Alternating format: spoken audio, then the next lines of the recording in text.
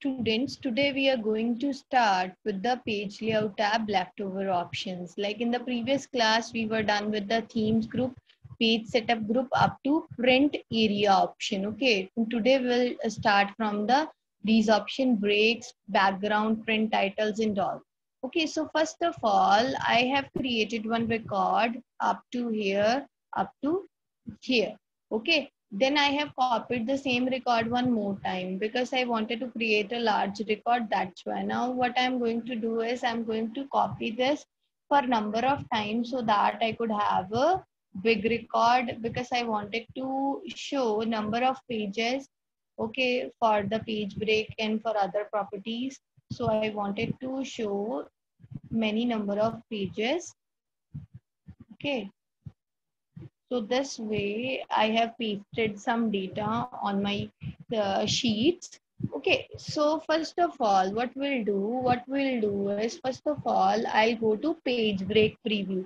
Where is the page break preview option available? Here under the, uh, on the top uh, bottom uh, right corner of the screen, I'll click here. Now you can see how my pages are divided. This is page one, this is page two, this is my page 3 this is page 4 this is my page 5 and page 6 for example i wanted to break my pages from this particular area. So i'll put my cursor here. Okay if i wanted to do page break from here i'll put my cursor here and click on breaks and click on insert page break. So my pages will be breaked from that particular area. So this way you can uh, break pages okay for example you wanted to break pages from this particular area so you can click here and click on insert page break so pages will be break from that particular area as well. Okay so uh, for example for example you wanted to reset all these page breaks you can click on here on remove page break or reset all page break. It will uh, come back to the previous uh, previous view whatever it was there. Okay so after this, if you wanted to add background image to your page, you can add that. You can click on uh, from a file option. Then you can select any background image from the images. Then you can click on OK. So this way, the background image has been added to your uh, spreadsheet. Now you would not be able to uh, see the background image. If you'll click on normal view, then you would be able to see your background image. Got it. So this thing you need to keep in your mind. Fine. If you wanted to delete the background, you can click here and you can delete the background.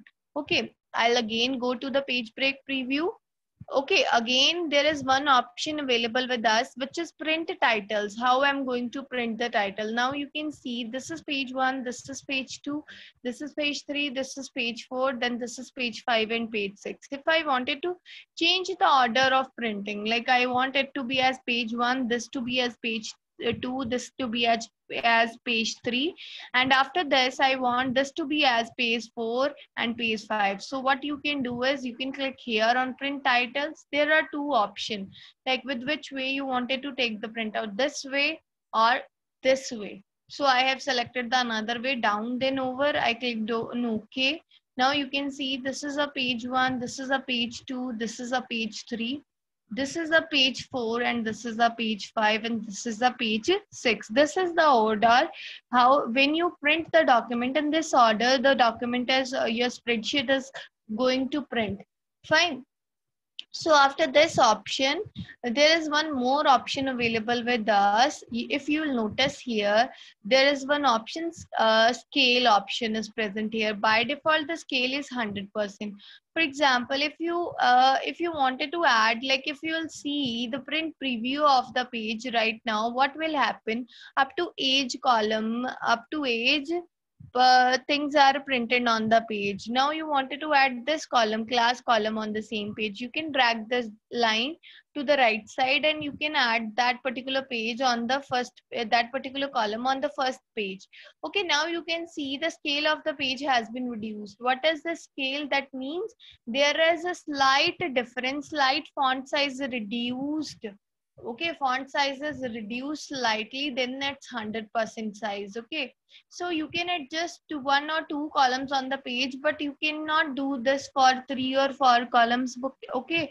Because if you do this for three or four columns it will reduce the font size to extreme okay? Which we doesn't want because we wanted to read data in a proper way so uh, so make sure you work on this 100% scale okay you can reduce the scale uh, like you can reduce the things to uh, one or two columns you can reduce the scale up to like uh, for example if you wanted to reduce the scale uh, I have uh, dragged the column to that particular side. So it has reduced the scale up to 91%. Like that is okay. Up to 90%. If your scale is up to 90%, that is okay don't go uh, don't uh, try to reduce the scale to less than 90 it will have a greater impact on the font size. Got it?